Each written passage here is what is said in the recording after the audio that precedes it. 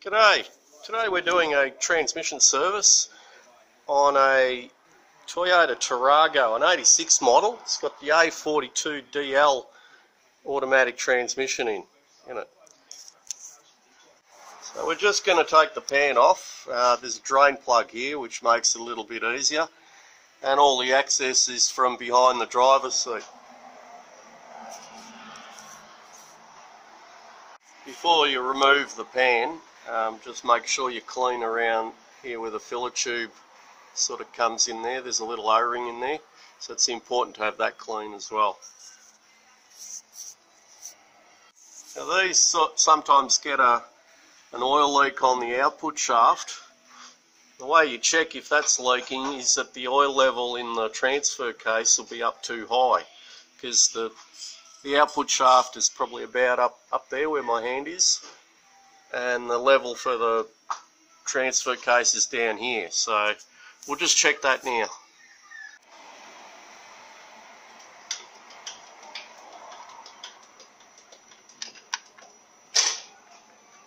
How's it look? No, it's on that mark. Hang on, just take it off here. we're up, yeah, it's just diff oil, so doesn't look like it's leaking in there, so there's a leak somewhere else. Okay, we've got the pan off, and now just looking at the, these are the A40 series transmissions.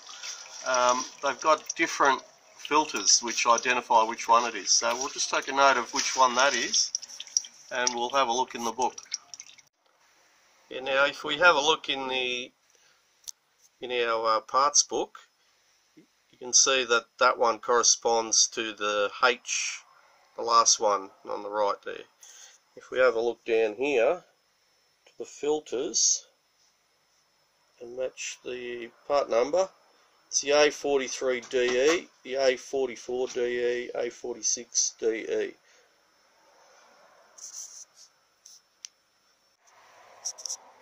you can see the magnets here, how contaminated they are and there's also little flecks of the friction material in here uh, the, the friction lining. These transmissions don't have bands they just have clutch packs.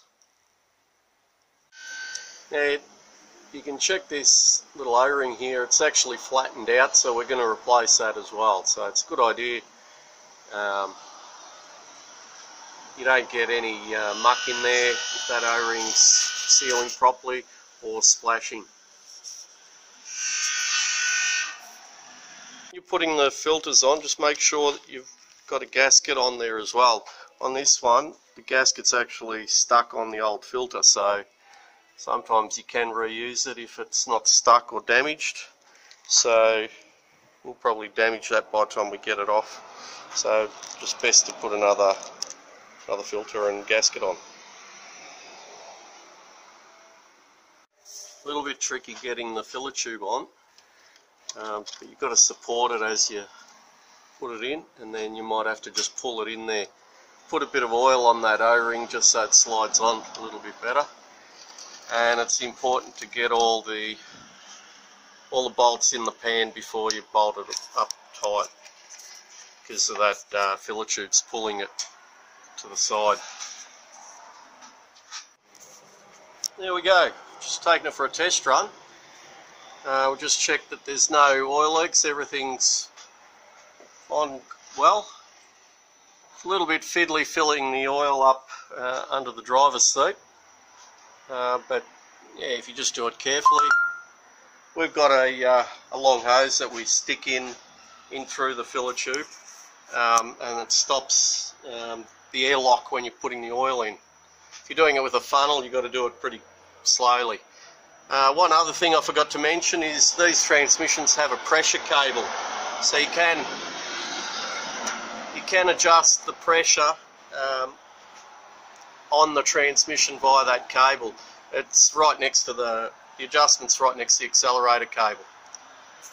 Anyway, I hope that's helped. A very simple transmission to do a service on. No adjustment, just basically clean the pan, magnets, uh, which is very important, and uh, the filter, replace the filter. Anyway, thank you for watching.